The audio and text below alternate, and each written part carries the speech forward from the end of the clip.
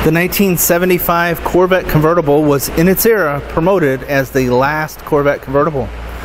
Looser federal regulations resulted in returning the Corvette convertible in 1986, but the last 75 convertible was built in late July of 1975, and it was the last time a Corvette convertible cost less than its coupe counterpart. This beautiful silver silver 1975 Corvette is an absolutely gorgeous shape. Paint is excellent on the car. Typically on the front nose of these, you'll see a little spidering. This has none. It's in really good shape. A newer emblem for 1975. And this particular car is completely loaded. It has air conditioning, power steering, power brakes, power windows, and tilt and telescoping wheel.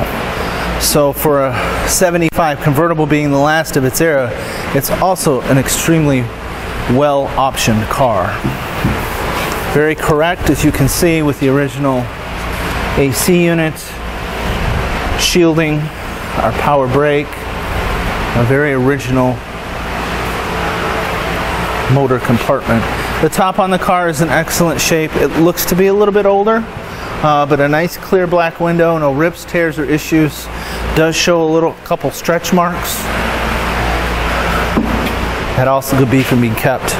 This has the famous luggage rack in the back. It's a love-or-hate thing, don't get me wrong. We at Buyavette do not recommend storing anything on there. And as you'll notice here is the silver interior. Again, in very good shape. It is showing a little bit of its age, but uh, in general in very good shape. Tilt and telescoping wheel. I do notice on the passenger side speaker grill we do have a little bit of a cracking there.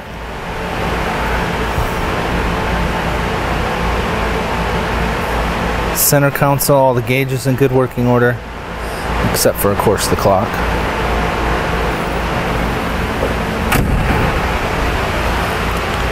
75s are great cruiser Corvettes for your local show. Yes, they weren't the most powerful Corvettes on the planet, but they are an awful lot of fun to drive on your favorite road. If you're looking for that cruiser with a lot of great options, give us a call 770-605-2056 or email john at buyavette.net.